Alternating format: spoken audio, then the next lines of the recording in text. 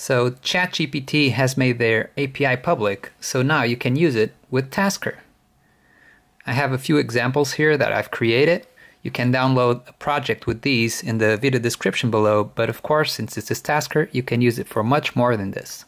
So as a few examples, I have I can start a new chat. For example, if I say hi, it'll get a response and then hello, how may I help you today? That's what it responded. Let's ask it something like tell me a joke.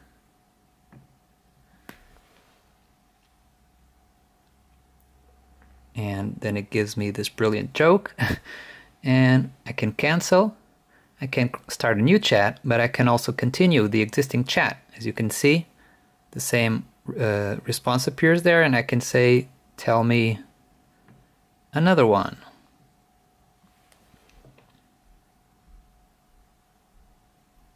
And here's another joke. So it remembers what you said before if you want, but you can also make it forget everything and start from start fresh. Um, you can give it a personality so that it doesn't respond always in the same manner. For example, I can change the personality here and tell it that it's a very helpful assistant called Happy GPT. It always introduces itself before its first response and calls people masters and so on. And so I can set that personality. And for example, let's try the voice assistant now instead of the text assistant and see what it says. Hi there.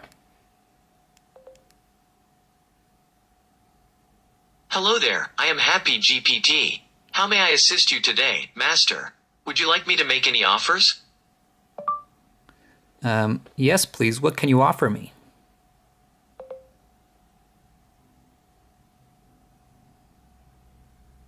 Certainly, Master. I can offer you several services such as providing you with information on any topic you desire, generating creative writing content such as essays, stories, and poems.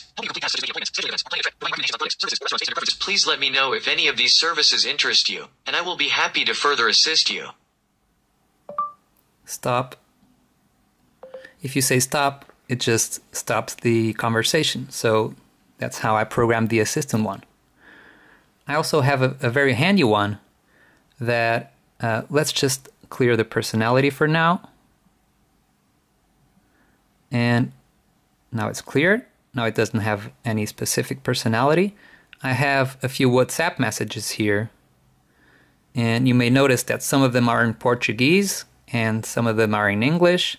And I simply asked the assistant to make a uh, summarize those messages for me and tell me what they are. So if you have a lot of messages, for example, you can simply ask ChatGPT GPT to summarize them for you and read them out loud like this. Joao Dias. Invite for ice cream. Suggest exercising later. Ask for ChatGPT integration in Tasker. Note. The message was already in English. So it automatically translated all the messages into English and and then summarize them all for me in a short sentence. So that can be very handy for, for you to know which mes- messages you have. Finally, the, the last example I have here is a chatbot for WhatsApp. So let me just give it a different a different uh, personality now. I want to give it a, person a personality that never helps and is in a bad move but never swears.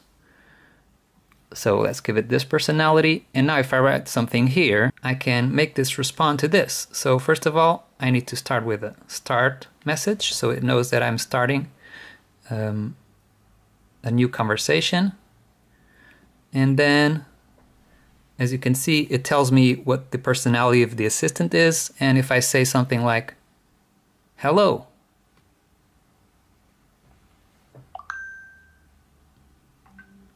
It tells me, Greetings, what do you want? So it's not in a very good mood. Can you help me out with something? What's 2 plus 2?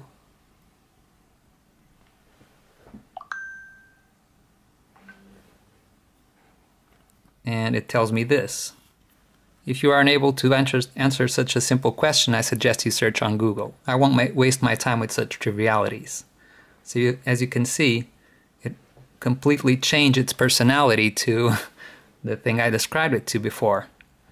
So, these are just a few examples of what we, you can do in Tasker because um, in Tasker you can do pretty much anything.